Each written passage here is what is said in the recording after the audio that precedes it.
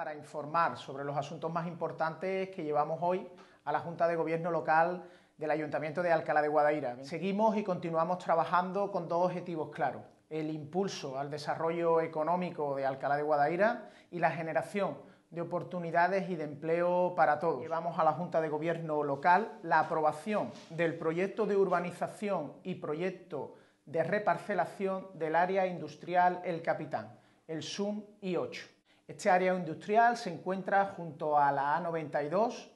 en el cruce con la ronda norte de los polígonos y son más de 68.000 metros cuadrados dedicados a la implantación de nuevas actividades industriales. Tanto aprobación de proyecto de urbanización como proyecto de reparcelación es el requisito anterior a la concesión de licencia de obra. Por tanto, ya desde este momento los titulares pueden iniciar el proceso constructivo y de construcción de la instalación industrial en la zona, de impulso a los sectores como la hostelería, el pequeño comercio, los sectores vinculados al turismo y la atracción de visitantes. Por ello, en esta Junta de Gobierno Local vamos a aprobar la concesión del contrato de explotación del servicio de bar y restauración en la Casa del Guarda, una obra que se ha realizado con presupuesto municipal en las riberas del Guadaira junto al Molino Romana, nuestro pulmón natural, con más de 180 hectáreas dedicadas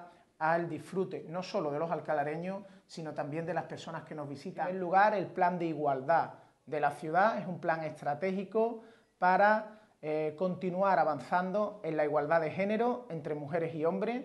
para prevenir la violencia de género y para conseguir cuotas de igualdad en todos los ámbitos. urbanismo vamos a aprobar definitivamente el convenio de Santa Lucía 102 para conectar Santa Lucía con la avenida Tren de los Panaderos y vamos a aprobar el estudio de detalle de la zona de cercadillos para la implantación de más de 600 viviendas, la mayoría de ellas, más de 460 viviendas protegidas en los suelos que adquirió el Ayuntamiento a la Fundación San Francisco de Paula. Este domingo se celebran las elecciones municipales en Alcalá de Guadaira y el Ayuntamiento de Alcalá ha dispuesto de todos los recursos para que la jornada se pueda desarrollar con total normalidad. En primer lugar, hemos dispuesto de una aplicación en la página web del ayuntamiento que se puede consultar también desde el móvil, en la que cualquier vecino, introduciendo su número de DNI, solo y exclusivamente su número de DNI, puede conocer la mesa donde vota, el colegio electoral donde vota